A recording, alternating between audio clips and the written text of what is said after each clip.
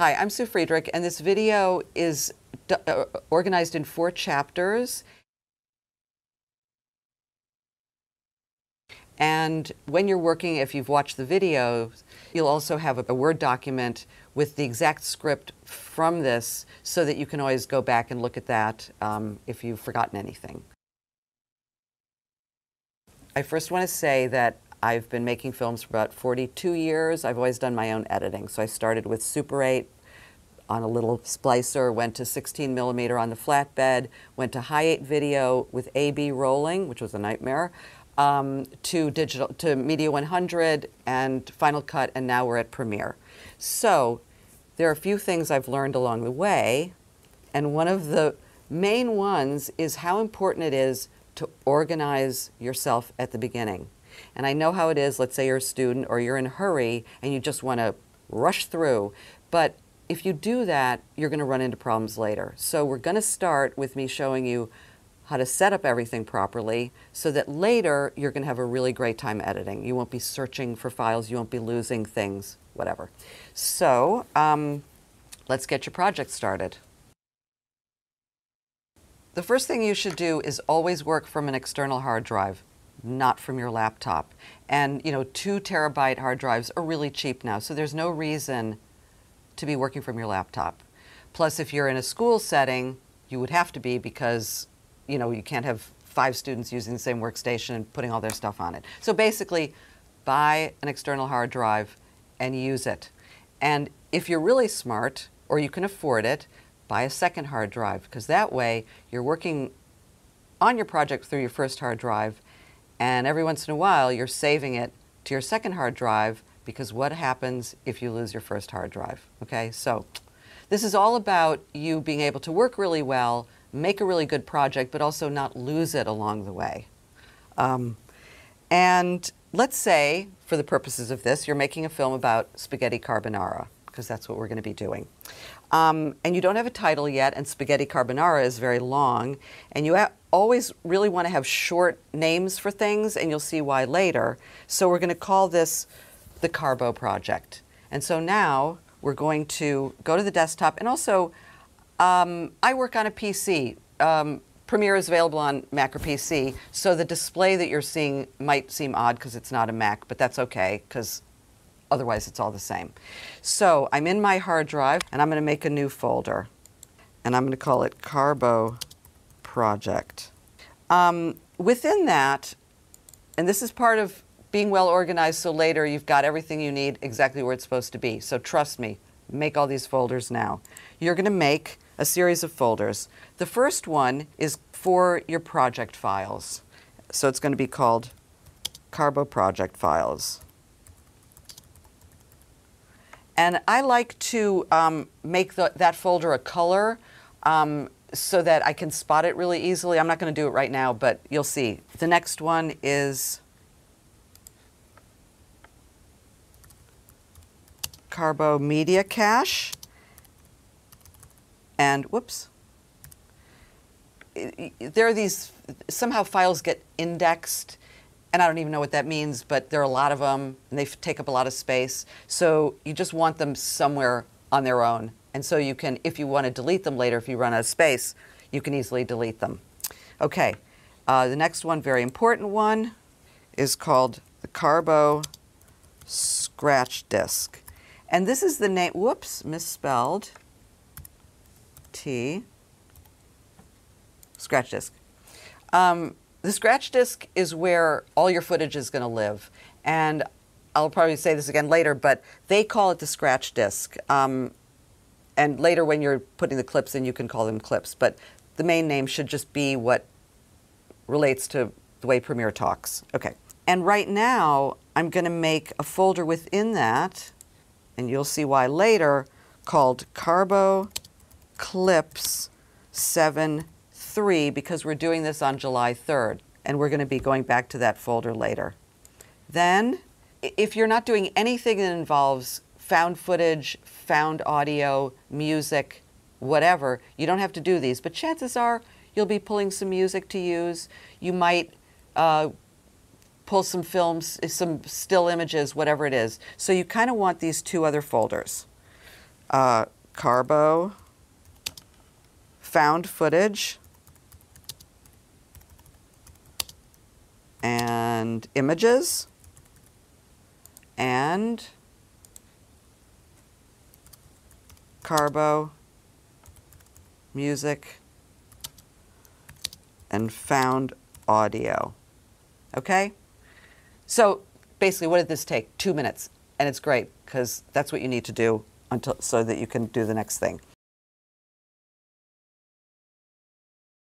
I cannot say this loudly enough.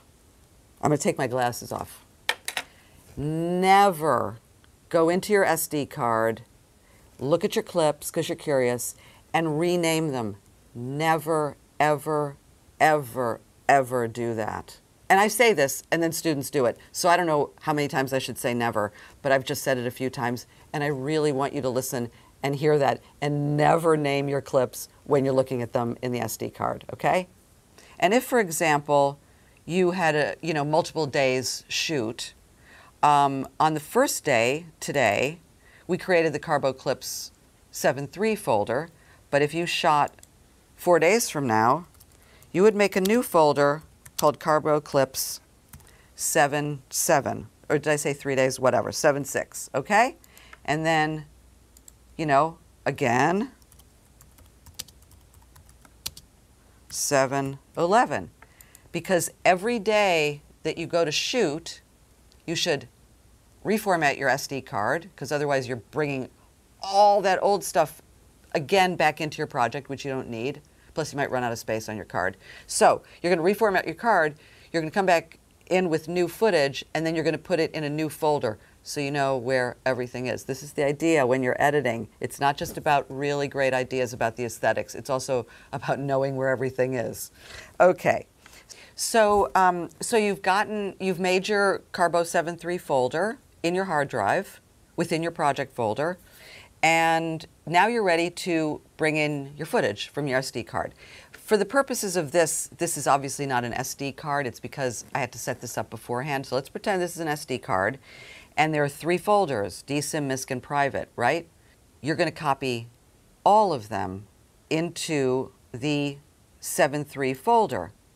Now, I'm not going to do this because it'll take a while and you know what copying is because I already have them stored somewhere else. But there's metadata and whatever in those other folders. You, you don't know what you might need later, so please just copy all of them into your card. It's okay. It's fine.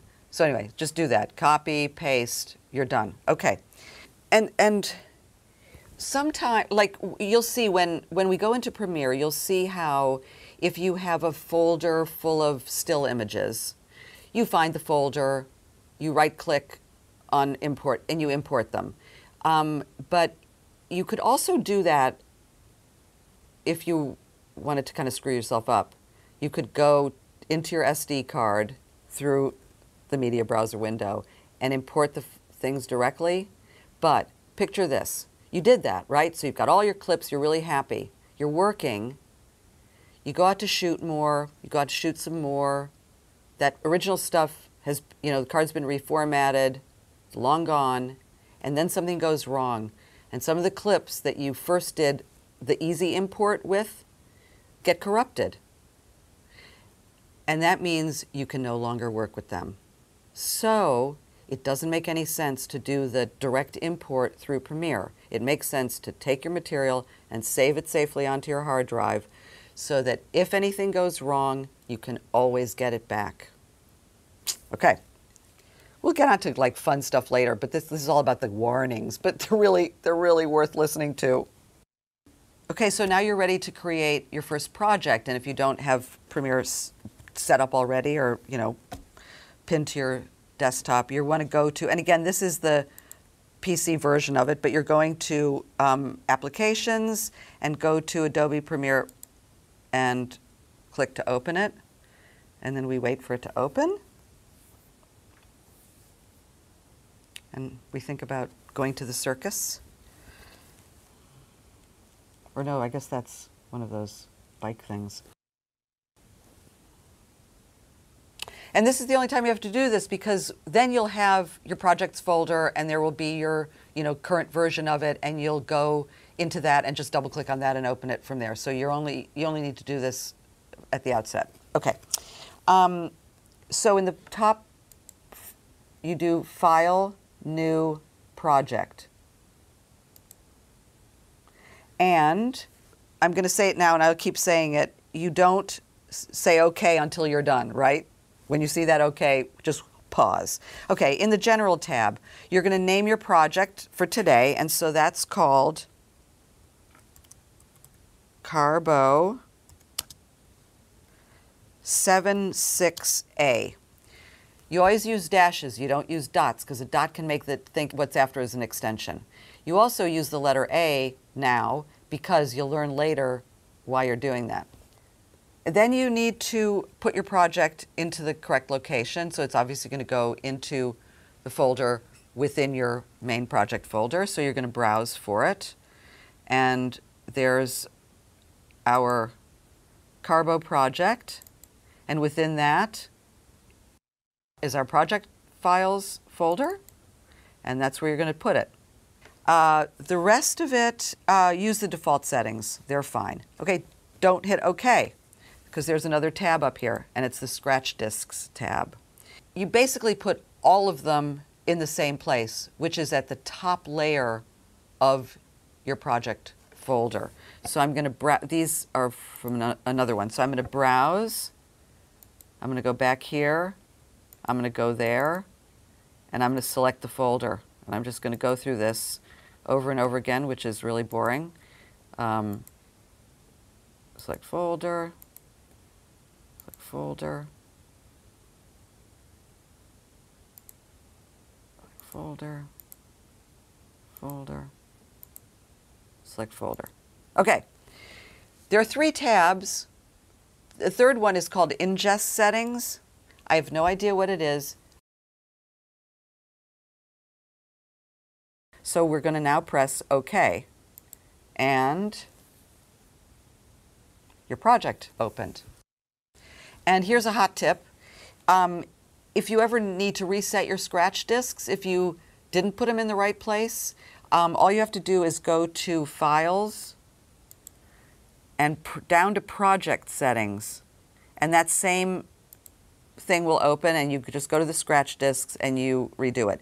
So if you went too quickly and you maybe put things in the wrong place, you might want to open your project folder just to see whether everything that's supposed to have gone there has gone there. And what you'll also see, I'm going to do OK, what if you go into your project folder, you'll see that two new folders have been created for Pro Audio Previews and Pro Video Previews, which you don't have to really think about too much, but I just wanted to point that out.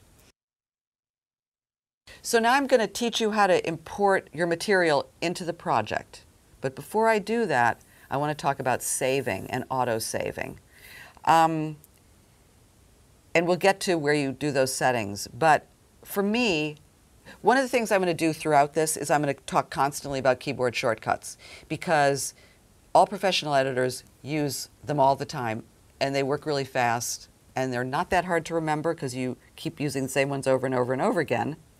So the obvious way to save is Command S, right? Or PC Control S. Easy. Thumb, forefinger. Boom, boom, boom, boom, boom. The reason that you should get into the habit of this, you can keep autosave on, but um, in Final Cut, sometimes if you were rendering something and um, autosave came on, it would crash. That really happened. And I think it might happen in Premiere, I don't know, because I don't keep autosave on, so I never have that problem. But I would say, for that reason, it's safer to turn it off and to do your own saves, but for another reason. So you have autosave on. You're not used to using your thumb and your forefinger for anything. Okay. Um, you did a, autosave did a save. You don't know when. Like you set it for every seven minutes or every 15 minutes, whatever it is. And then you're editing and you do something super great. And then you mess it up. The autosave doesn't have what you just did, right? So you've lost it.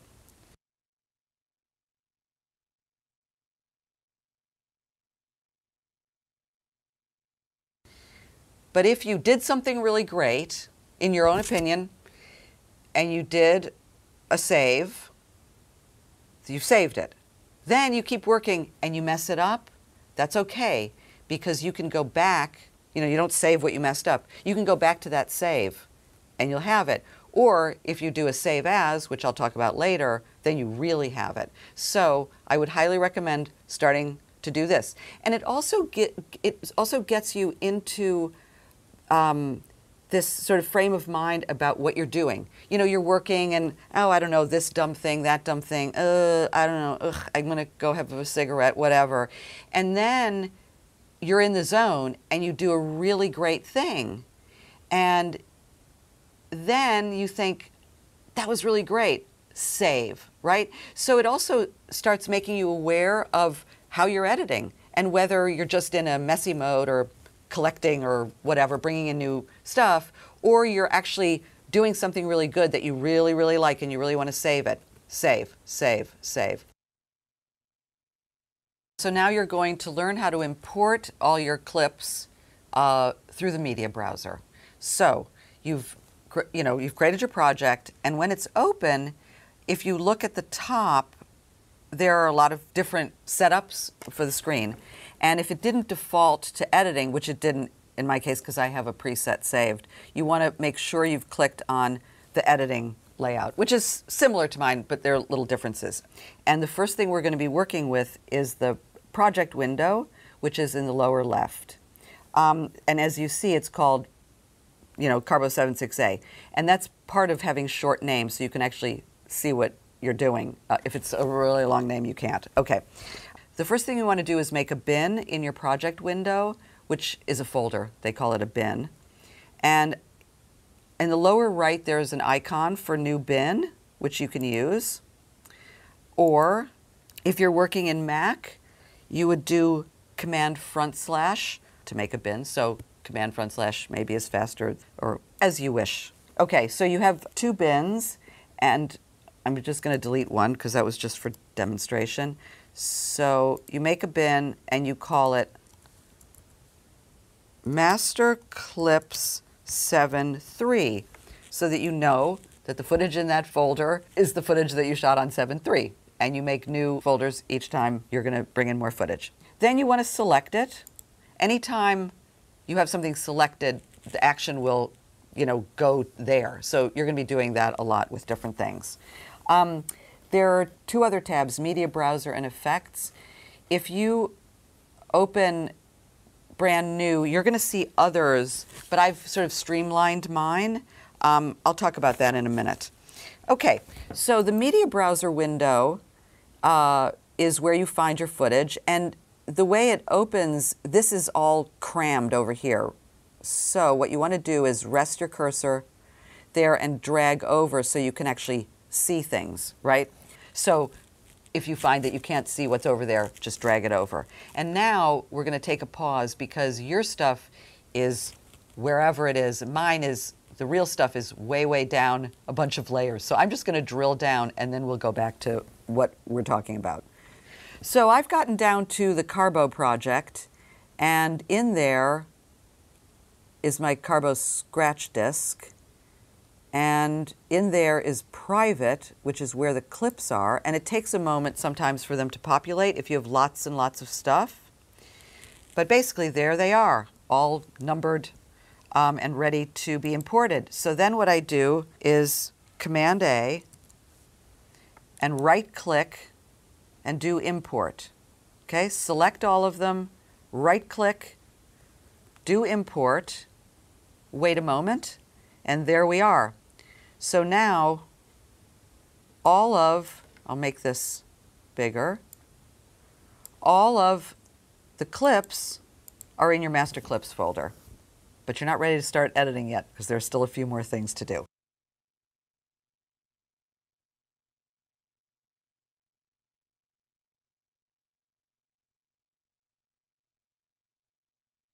If you want to look at clips in the window, right now I'm in list view, which I prefer but you can also see them as images. And you can kind of scroll through them and play them. Um, I mean, you might want to do that. I think that's not very necessary or, or helpful because once you're editing, you're going to be able to really look at them, and it's better to look at them later. And what you might have noticed is that I was inside a folder, and up here is this little white folder with an upright arrow, and that's taken me back to the main project window, and I'm going to put it back in list view so you can see better. And as I mentioned, there you, you probably have other tabs in your project window, probably info and history. Um, uh, and there will be other ones in the source window. I get rid of the ones I don't need. So info, you can, you know, open that tab and see what info is.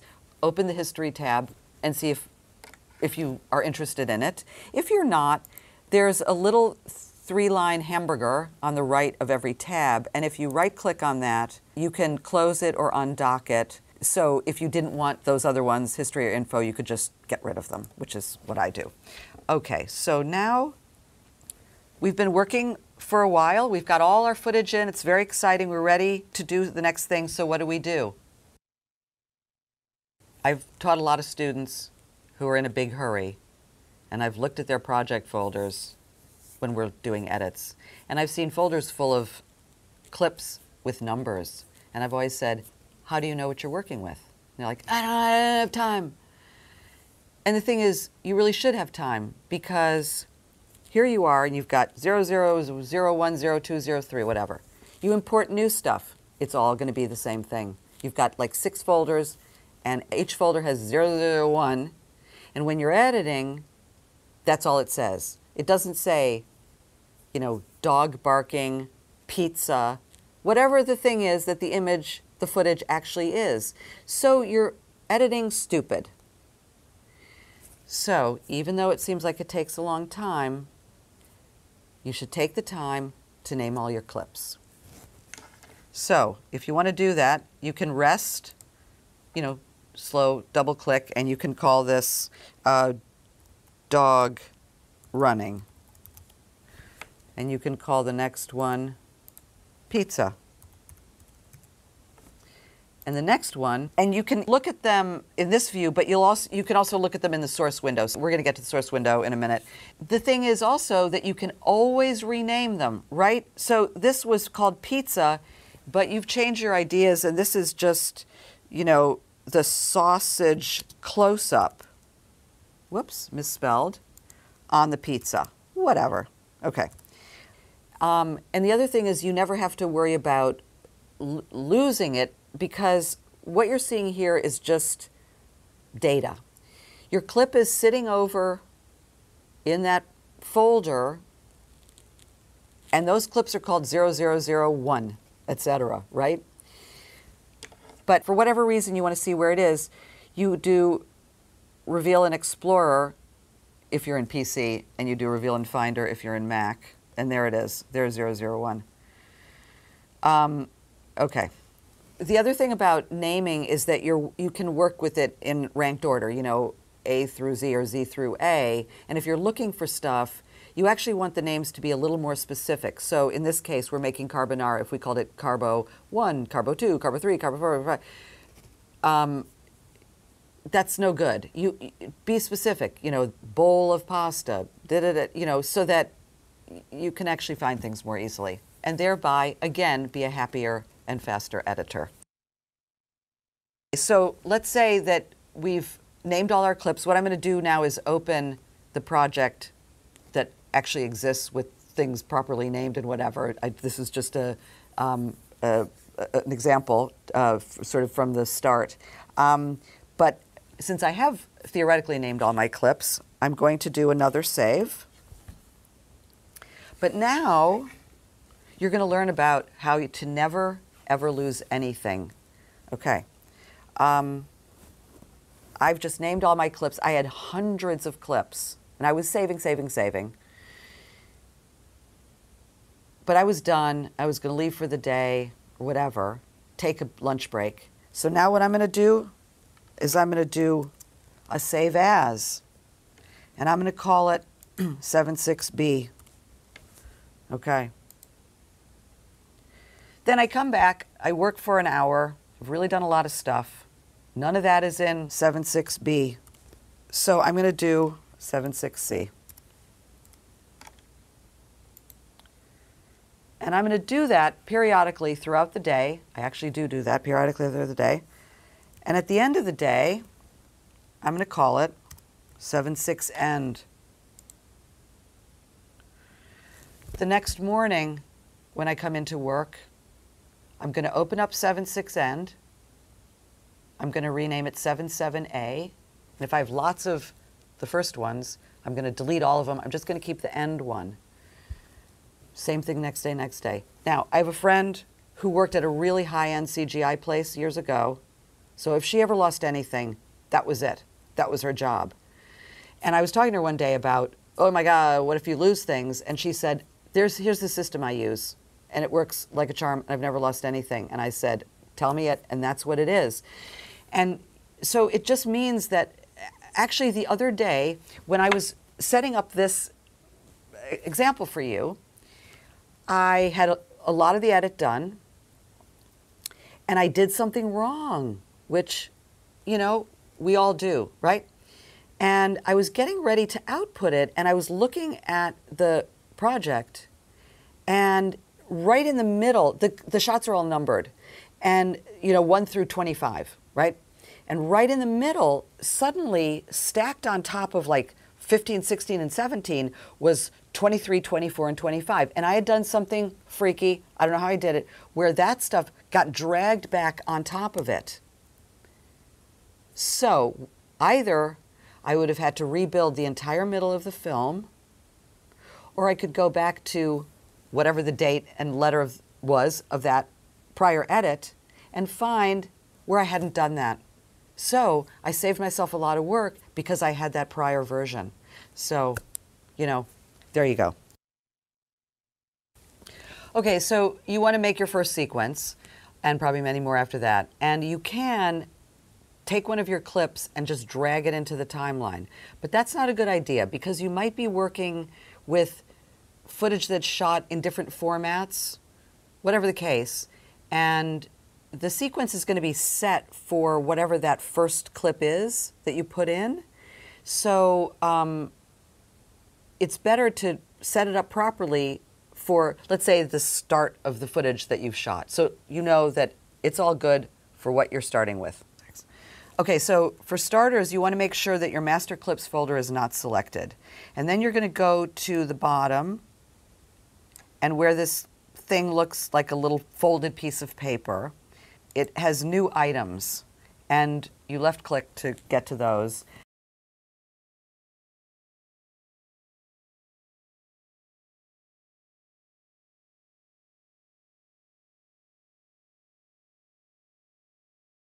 So there are a bunch of others that we'll go into later, but the first one is sequence. So you're making a new sequence. And again, this is like the other one. Don't say okay until you've gone through all the tabs. Okay, so in this case, it opened right away to what I was working on, but obviously there are a lot of choices. But in this case, I shot AVC HD, I shot at 24p, and so we're good to go. It just gives you all the info over on the side. Then you want to go into the settings and it, the default should be fine. You just want to make really sure that right here it's reading 23976 because you shot 24p. Okay? And down here it's showing that you shot 1920 by 1080, which I'm assuming you did. Or if you didn't, you have to change it. And then the next tab is for your tracks. So the default is that you have three video tracks and six audio tracks. So there's this rest on it, roll and change function in Premiere in a lot of places where, like, see, it's turning to 9 or 10. So you can change something that way. You can also click on it and change it that way. So I'm going to make six tracks. Then in the audio, it gives you the default is stereo uh, or 5.1 or multi-channel or mono. So it kind of depends on how you shot. So I'm going to go with stereo. The ones you want to get rid of are these 5.1s. They're a nuisance. If they're in there, if you don't bother to do this, then if you have six tracks and you're working with your audio, and you want to drag something down to one of those tracks, it won't let you. So just get rid of them. I don't know what purpose they serve. Standard tracks are the way to go. So there you go, six standard tracks. If I wanted to save this preset, I could. Um, I'll leave that up to you. I'm just going to say OK, enter, and now I have my first sequence. So it opened up in here, and it opened up over here, and they're both named sequence 01, which to me is not very informative. So I'm going to call it Carbo Edit because I might start actually editing this film soon. I know you might be really eager to start messing around, you know, dragging in clips, looking at them, but you can't really do that yet because you also have to set your preferences, which are really critical. Um, so I'm going to show you that now. And one of the things to remember as a student, or if you work somewhere and you share your laptop or your workstation with somebody else, this is so important, is that preferences are program based not project based. So I'm going to show you how to set your preferences. They're going to be beautiful and it's going to be fine. But then Suzanne or Joe are going to come in and work and they have different preferences. So when you come back in, mm, something might happen that you don't want to have happen. So if you're on your own, good. Set your preferences, you're good to go. If you're not, then if something is funky, then you know you need to go back into preferences and reset them for, you know, whatever, whatever you like to do. Okay. Some things are going to be, we're going to speed through them. I don't even need to explain them. Uh, other things I'll explain a little bit more. For me on a PC to get to my preferences, I have to go to Edit. But if you're on a Mac, And there are a lot of them. And if you needed to go back in and change something, you can always just go to one in the middle. Um, but we're going to start at the top because uh, they're all interconnected once you get into the preferences window. But if you're on a Mac, you go to Premiere Pro, Preferences, and you go to the General tab, and that opens. And there are several elements in here. The first one is uh, gives you the option of show home or open most recent. So if you're working on a whole bunch of projects and today you want to work on the third one, then if you have it set for show home, um, when you open Premiere again, it will show the list of all the projects and you select that one and open it. But if you're just working on one thing, then it's easier to say open most recent because you know you want to, to open the one from yesterday. So um, we'll do open most recent for the purposes of today. Um, when opening a project, show open dialog. The bins, this is interesting. Um, you have various options. You have open in place, open in new window, or open new tab. So when you double click, it can do one of those three things. And I'll show you when we're back in the program what happens. But basically, if you double click to open in place, it's sort of like when I did the master clips and then I had that little white folder and I went back to it. If you do open in new window, it means you have a whole new window sort of floating on top of your screen, which is annoying because you can't see things. So I don't know, some people might like that you know, no harm. But to me, it's easiest and kind of cleanest to always open in place. And so then these others are if you wanted to create an option, you know, double click plus control and double click plus alt for, for to open a new window, that's fine. But basically, my standard would be to be double clicking and to open in place. Okay, and then there's this, which is open in new window or open new tab. And I have it set for open new tab. That's the default. So I would leave it there unless you discover that you don't like it doing that. Um, in the ones below, I have the first four checked, the next two unchecked, and the last two checked. I'm not going to explain all of them because we don't have enough time. Then I'm going to go to Appearance. And as you see, you're working in a very dark environment on the screen. Um, you can choose to make it much lighter, or even lighter, or even lighter. So this is a personal preference. Um, and you can choose different highlight colors and stuff. Uh, I think most people just leave it at dark. Um, so I'm going to do that so it looks like what you would be doing. Okay, the next one is audio. The default is one, I would leave it that mixed down type since we don't use 5.1, leave it. Um, honestly, some things I don't know about, I just leave them like 6 dB, whatever. Um, check the first one. The default might have play audio while scrubbing unchecked. You should definitely check that because when you're running through your sequence with the play bar, you can hear the and that's very handy. So, and of, of course, maintain pitch while shuttling. Then I would turn this off. I would keep the next two on, and I would keep that one on. Forgive me for not explaining what everything is. Um, and then this render edit in Audition files kind of isn't relevant because you're not working in Audition. It's a separate program, so the default is scratch disk location, whatever. You can just leave it like that, okay? Audio hardware, uh, it depends on what you're working with. So, you know, if you're working with headphones or speakers like I am at home, then that's why it's selected for that. So you just have to figure out what's working for you. Here's autosave, which for me is turned off. Enough said. The next six items don't really have anything to do except, let's say, labels, if you want to label things by color. But the other things have to do with tape. I, I don't know what they are. Whatever. Then there's media. And again, you want to make sure you're at 23976 if you shot at 24 or at whatever other rate you shot at. Time code, use media source. Uh, start at zero is fine.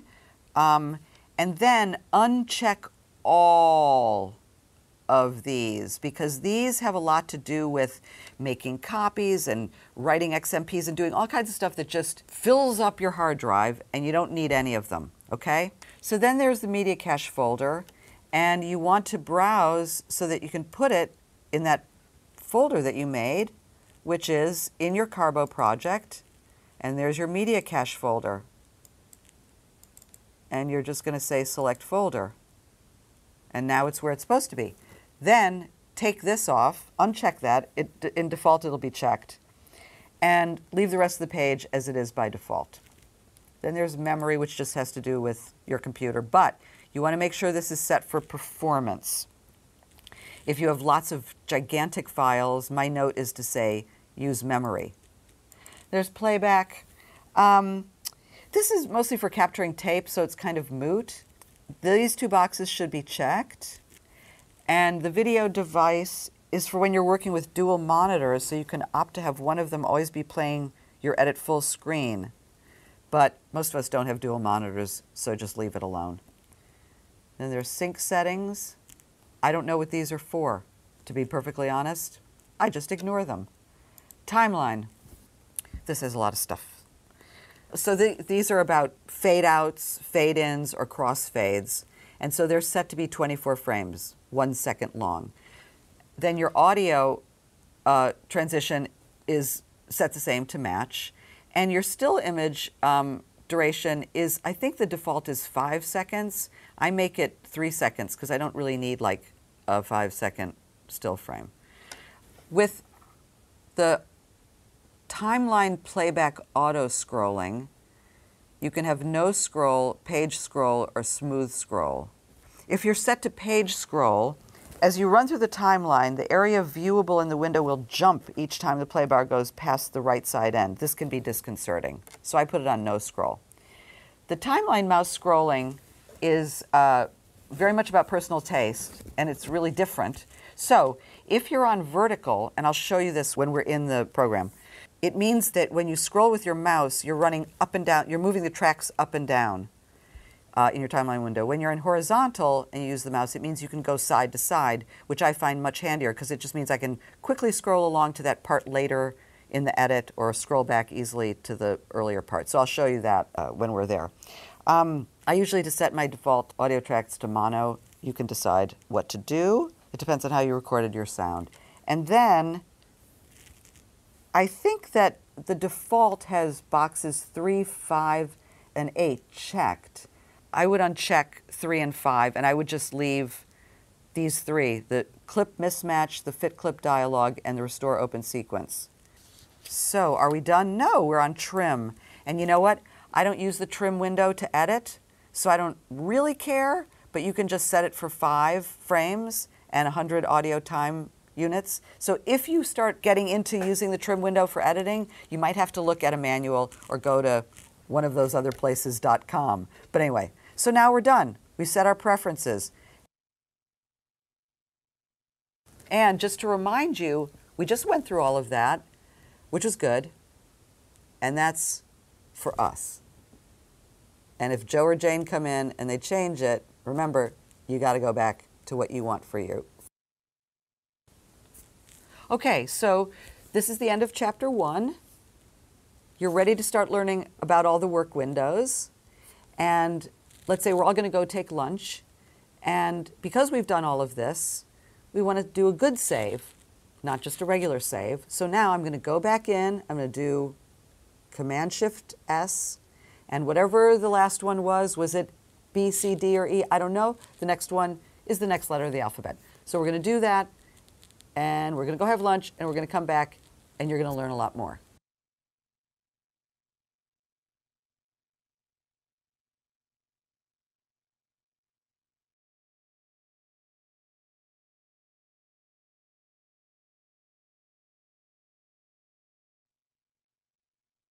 Thank you for watching this. I hope it's useful. Share it with anybody you want. I want to thank Princeton University for supporting me doing this because I did it in this beautiful studio. And Dan Kearns is the engineer for the University Broadcast Center. So he set it all up and he did a fantastic job, and I want to thank him.